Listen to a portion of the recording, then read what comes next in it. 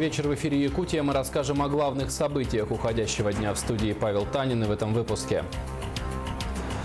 Водозабору в Якутске быть. Городской водоканал получит два кредита для завершения строительства. Крещенские купания в Якутске осветили купель, а добраться до места проведения обряда можно на автобусе. Лечение при помощи лошадей в столице республики проводят сеансы ипотерапии.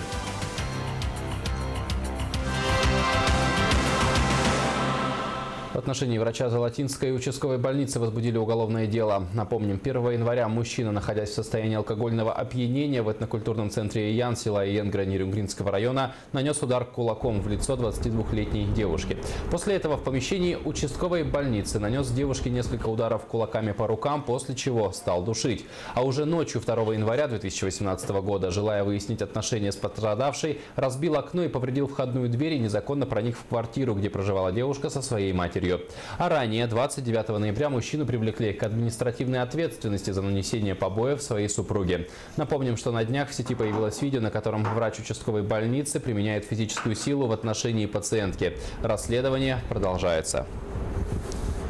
Другим темам. В одном из домов поселка Верхний Бестях Хангаласского района продолжают мерзнуть люди. Напомним, жильцы дома по улице Заводская, 11 третью зиму подряд вынуждены спать в верхней одежде и с включенными обогревателями. Проблемы с отоплением начались после капитального ремонта дома в 2014 году. В конце прошлого года в эфире нашего телеканала выходил сюжет, в котором глава поселка уверил, что к жильцам придет тепло к Новому году. Продолжение этой истории смотрите в материале Виолетты Засимовой. Дом по улице Заводская, 11 состоит из четырех квартир, но сейчас в нем проживают только две семьи, точнее выживают.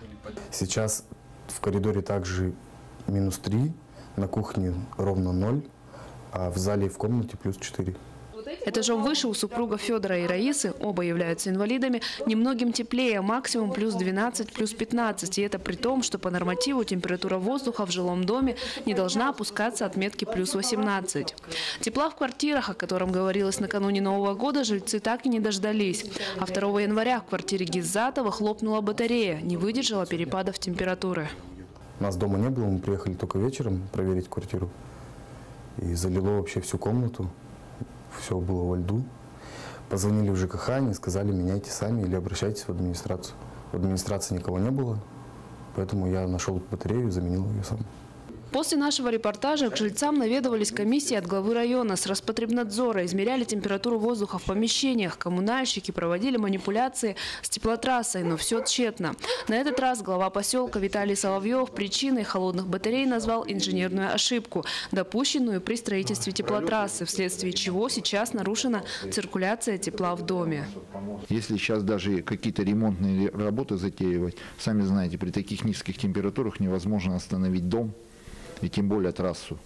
Это будет чревато последствиями. Мы, видимо, все заморозим. Вариант такой предложили, ну, временно снять до апреля, потому что в апреле более уже теплее, тогда уже можно что-то применять. В том-то и проблема, что жильем в поселке туго. Деньги на аренду найдутся, но снимать нечего. Маневренный жилищный фонд занят. Небольшим утешением звучат слова о повторном капитальном ремонте дома. Нынче дом этот э, заводская 11 у нас идет по фонду капитального ремонта. На ремонт будет там три критерия. Это будет ремонт электропроводки, водоснабжения и теплоснабжения. Полностью они будут менять делать.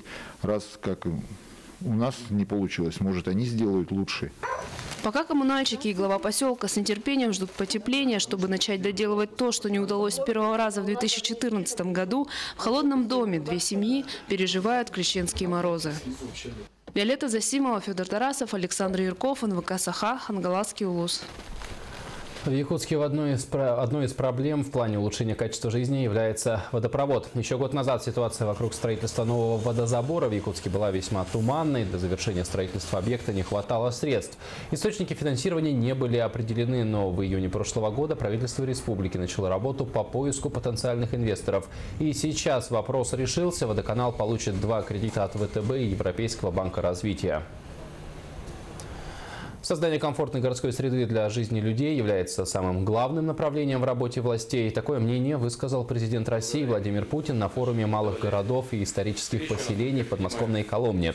Глава государства напомнил, что проект по созданию комфортной среды стартовал в прошлом году. Он рассчитан до 2020 года и на его реализацию из федерального бюджета будет ежегодно выделяться 25 миллиардов рублей.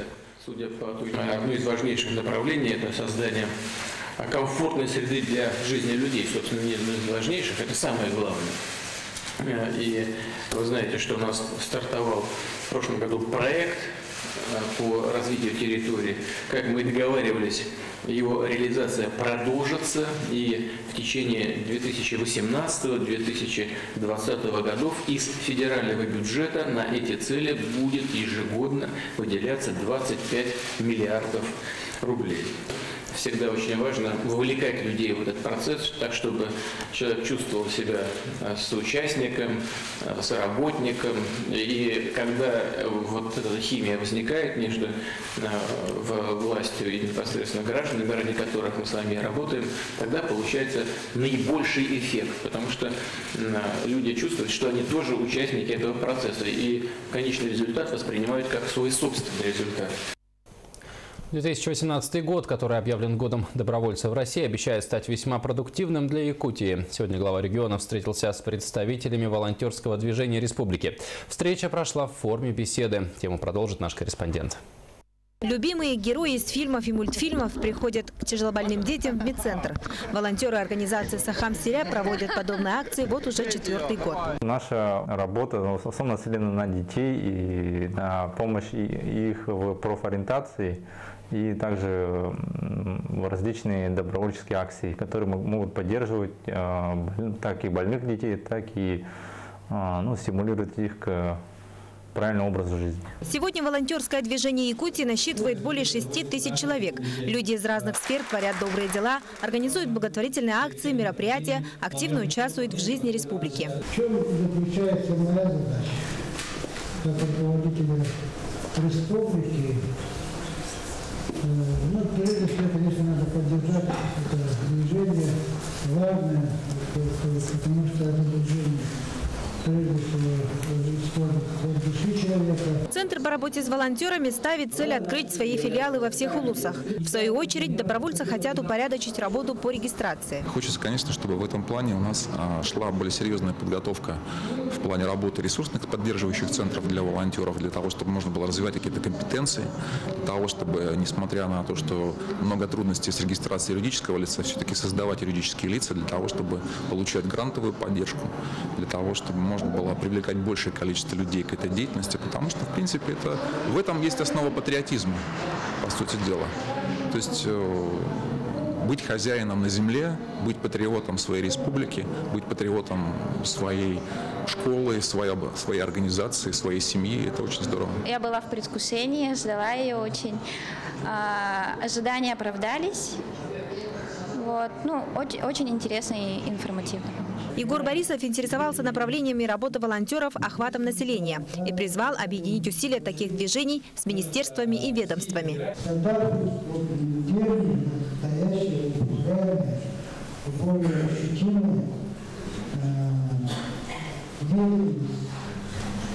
добровольстве для того, чтобы оказать Волонтерское движение объединяет людей независимо от их возраста, профессии и социального положения. Цель у них одна – делать добро тем, кому нужны их знания, опыт и бескорыстная помощь. Оксана Устинова, Галина Кутугутова, Василий Слепцов, НВК «Саха-Якутск».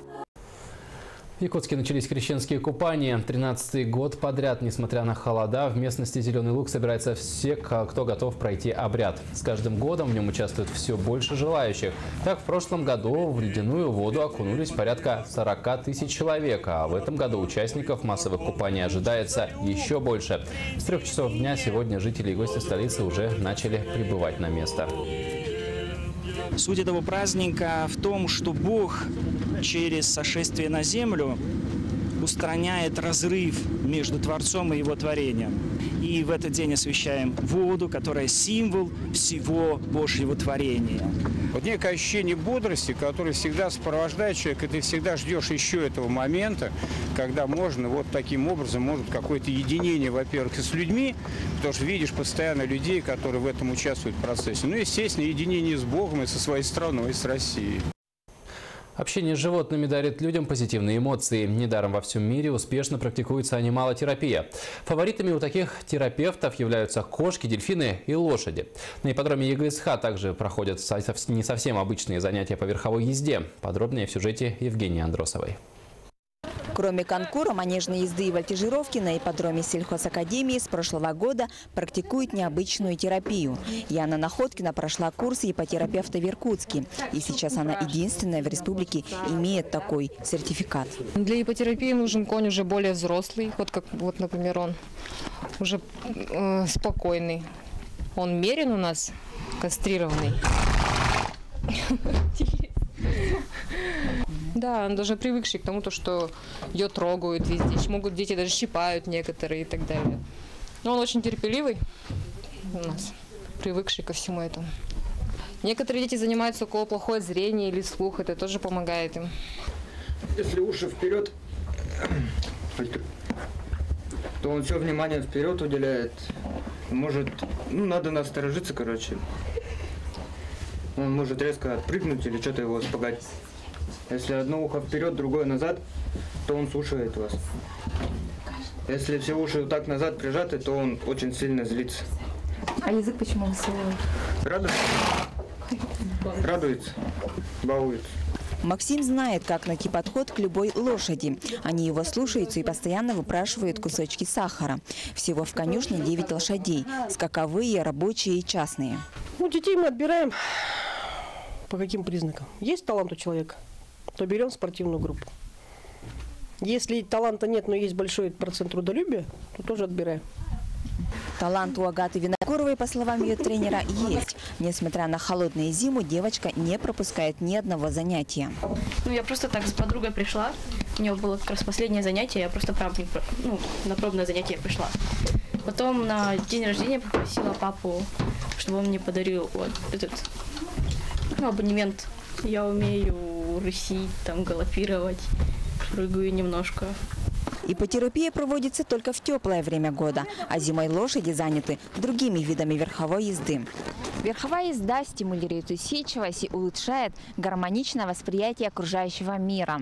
А общение со спокойным и добрым животным благотворно само по себе. Евгения Андросова, Григорий Охлопков, НВК Саха, Якутск. Вот такими событиями мы запомним уходящий день. О том, что будет дальше, как всегда, расскажет Якутия. Я на этом прощаюсь. Хорошего вам вечера и до встречи на нашем канале.